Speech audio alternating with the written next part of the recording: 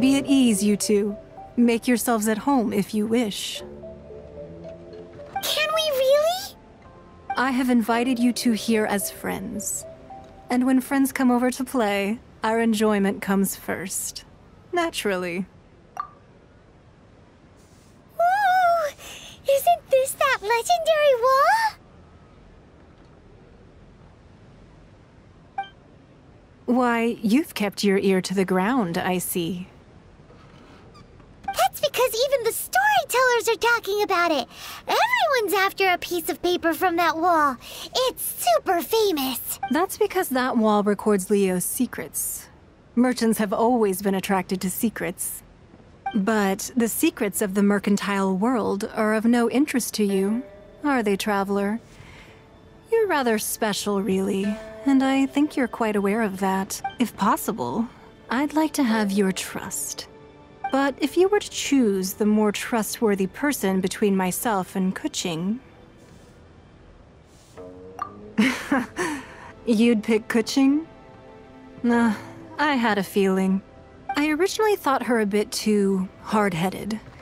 With someone of her character on the Qixing, I've had some extra messes to clean up behind the scenes.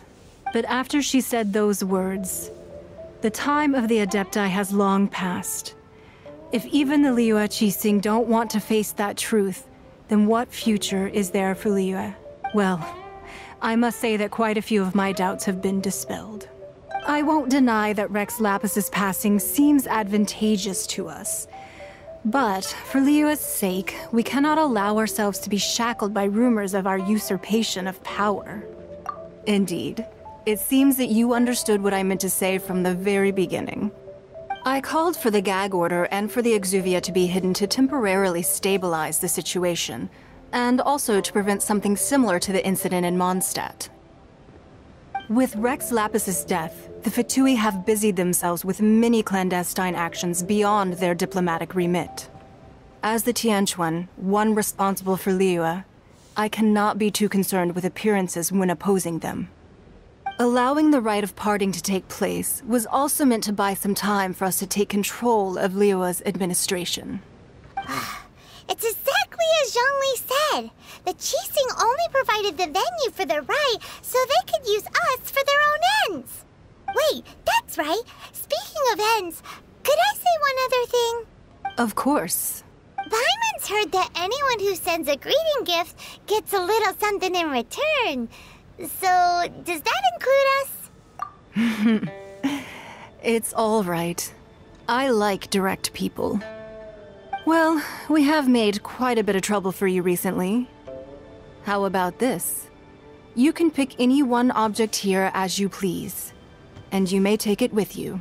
Yay! Paimon was just waiting for you to say that! Let's see, what should we get?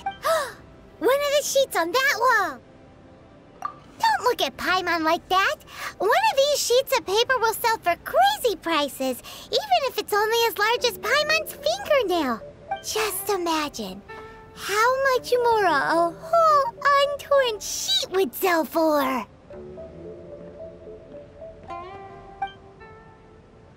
Let's grab one, the biggest one.